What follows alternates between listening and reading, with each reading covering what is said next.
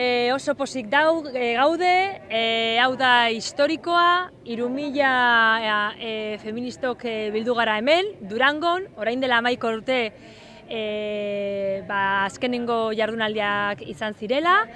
E, uste dugu, bueno, ba, iru egun hauetan e, debate gai oso garrantzitsuak emango direla eta Euskal Herriko mugimendu feministaren e, bueno, ba, etorkizuna eta ze estrategiak ba, landuko ditugu. Así que argi dugu egun hauek bueno, e, itzelak izango direla eta bueno, ba, abia puntu bat markatuko dituzte. Bon dia, benvingudes a les cinquenes jornades feministes d'Euskal Herria.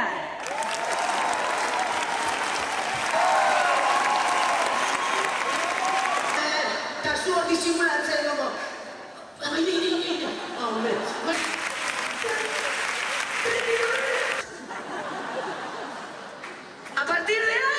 pierda